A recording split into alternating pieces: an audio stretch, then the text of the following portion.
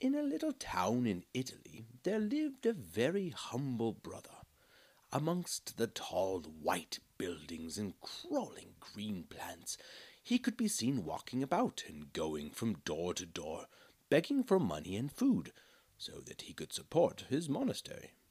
His little wicker basket was filled to the brim with coins, flour, fruit, and loaves of bread. The people of the town loved very much to see Brother Gerard when he was sent out to gather alms, and they always were happy to give what little they had to him. Brother Gerard, here are my earrings. They are made of gold, one woman exclaimed, hastily dropping her earrings into the basket. Father will be very pleased. God bless you. Brother Gerard replied, a little smile widening on his face. Brother Gerard, please take these buttons off my coat.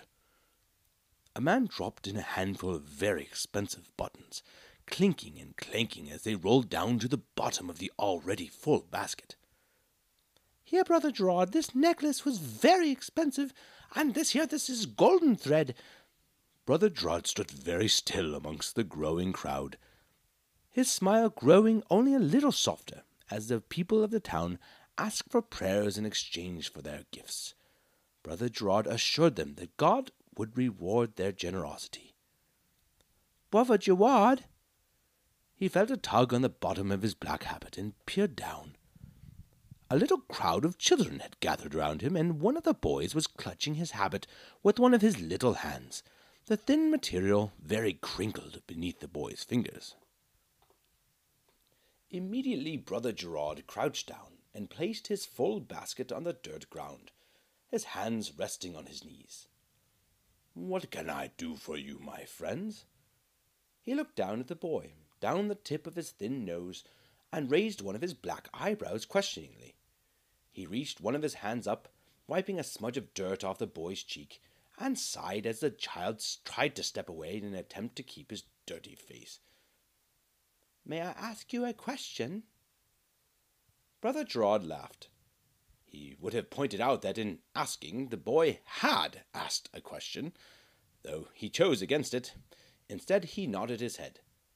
Of course you may ask me a question, and I will do my very best to answer you. The boy screwed up his nose as he thought. Brother Gerard, why do you have to ask for food and money?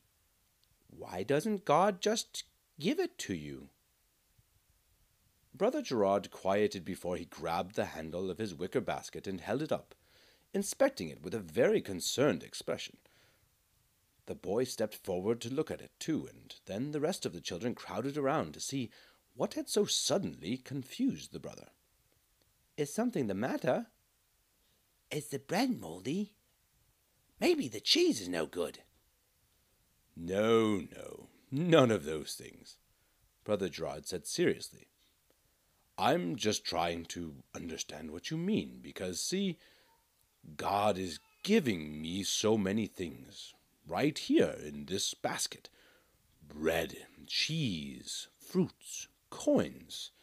Mrs. Abate even gave us two bombolini and she said that they have a yummy cream inside. I think Father Superior will be very pleased with that.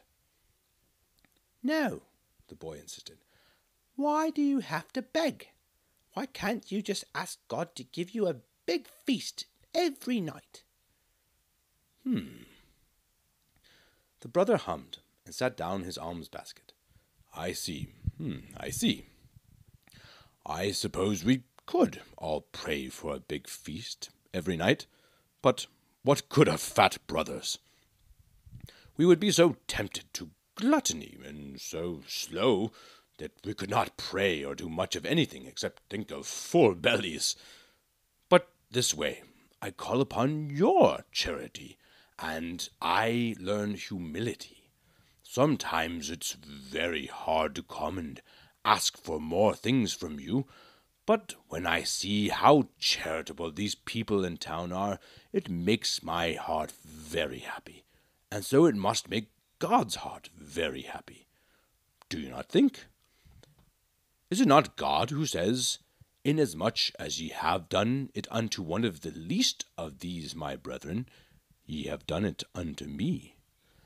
Are not the brothers living hidden away from the world, so that they may serve God with their whole heart and whole soul? The boy seemed to consider what Brother Gerard had said, but he did not seem satisfied. I do not understand why we must give away our things, the boy said decidedly. Why would God give them to us if we were not meant to just give them all away? Because all belongs to God. Brother Gerard chuckled. And God must teach us. Besides that, we must all get to heaven, and God teaches you humility and charity by urging you to help us brothers, who have so very little. And we are very happy having very little, but we still must eat, and that is why I have come and asked for bread, and perhaps even a few coins, and why everyone so generously gives me their very little. God will give you graces for that.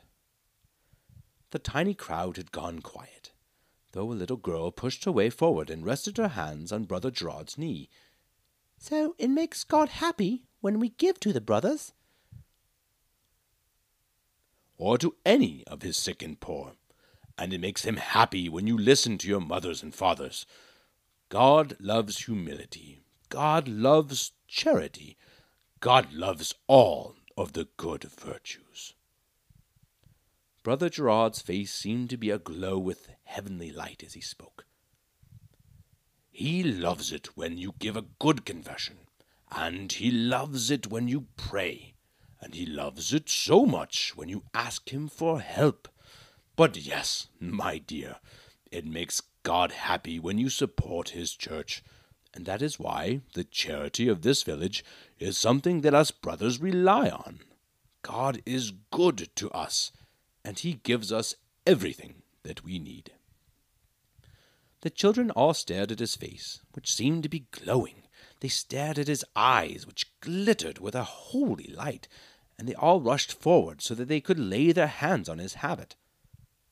Then please take the buttons off my shirt, and this buckle on my shoe. Would Jesus be happy with my blanket? It keeps me very warm, and I think it is very special. The parents gathered round as Brother Gerard spoke, and answered the endless questions, finally pulling their children away so that the brother could rise and pick up his basket. He began the solitary walk back to his monastery, though he was beaming a very bright smile, thanking God for so beautiful a day.